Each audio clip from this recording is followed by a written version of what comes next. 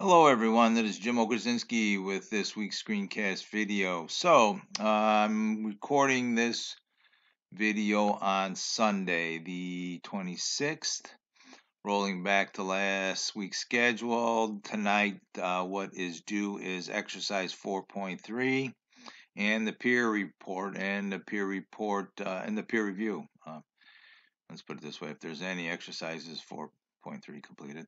So on exercise 4.3, it's pretty straightforward. I believe I might have covered that a bit in last week's screencast video. Write your three alternatives there for an opening to your first draft and um, comment and fill out the report and everybody can talk about their openings all right actually write those three openings for that activity as it states in the textbook so just moving to this week's schedule then, after 4.3 is posted up with peer reviews and report on um, Sunday, uh, Tuesday on the schedule, we have the first draft and a peer report uh, is due at that time.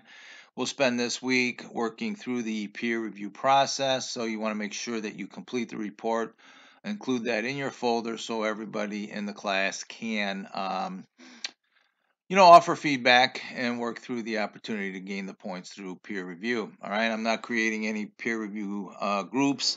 Um, anybody can comment on anybody. You have two um, reviews due for the week. Um, the class is just not that large to create any kind of pairs or groupings or anything like that. All right. So I want to remind everybody and urge everyone to complete the discussion board activity this week.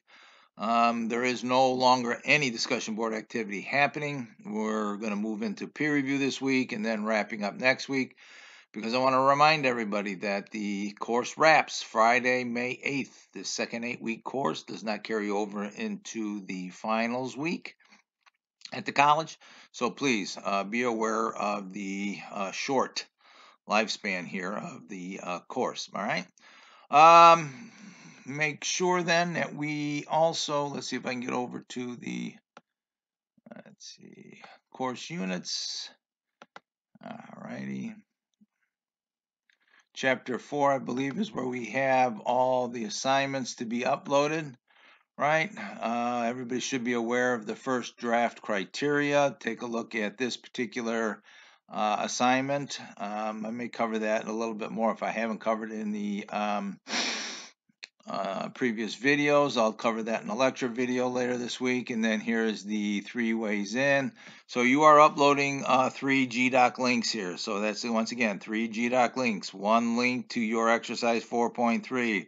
One link to your GDoc for the peer review report. And one link to the GDoc where your um, peer review uh, appears. All right.